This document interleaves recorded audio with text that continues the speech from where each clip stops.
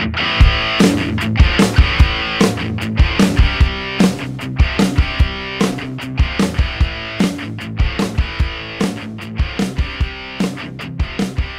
าบสวัสดีทุกท่านครับ ขอต้อนรับเข้าสู่โค้ชคีย์บอร์ดนะครับ โค้ชเตี้ยครับมาเต็มชี้ไทยขาดทีมเวิร์กแถมแนะวิธีการเล่นให้ด้วยนะครับ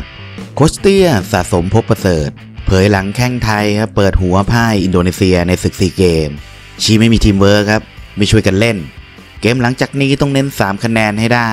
และต้องปรับวิธีการเล่นครับ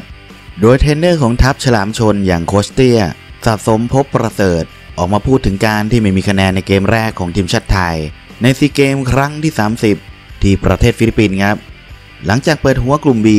เมื่อวันที่ 26 พฤศจิกายนที่ผ่านมา ปราชัยให้กับอินโดนีเซียไป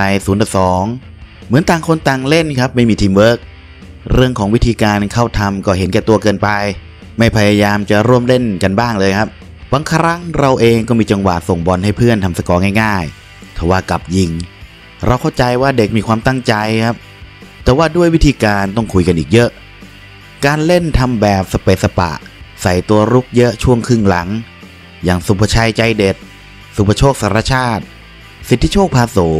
อานนท์อมรเลิศศักดิ์ก็ไม่สามารถจะทำได้ครับ กลายเป็นว่าตัวรุกสร้างเกมก็ไม่เห็นมีอะไรครับ ฟูลแบ็กสองข้างที่ปกติเติมเกมก็ไม่ทำครับทำแบบเก้ๆกังๆ แต่ก็ต้องชมทางอินโดนีเซียครับ แววตามีความมุ่งมั่นกว่า ผิดกับนักเตะไทยที่ดูไม่สด ก็ต้อง 3 คะแนนทุกเกมครับ หลังจากนี้ไป เบาหน่อยก็เจอบรูไนที่เหลือสิงคโปร์ก็เล่นแบบอินโดนี่แหละ ยังเชื่อว่าผ่านได้ครับแต่ต้องไปงัดกับเวียดนาม ต้องปรับวิธีเล่นให้เยอะกว่านี้โคชเตียได้กล่าวไว้นะครับสำหรับเพื่อนๆพี่น้องท่านไหนครับมีความคิดเห็นอย่างไรกับข่าวนี้ ก็คอมเมนต์เข้ามาพูดคุยกับเราได้ครับ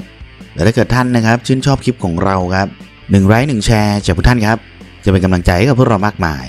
และถ้าไม่อยากพลาดข่าวสารจากเรานะครับ สามารถกด subscribe กดกระดิ่งไว้ได้ครับ สวัสดีครับ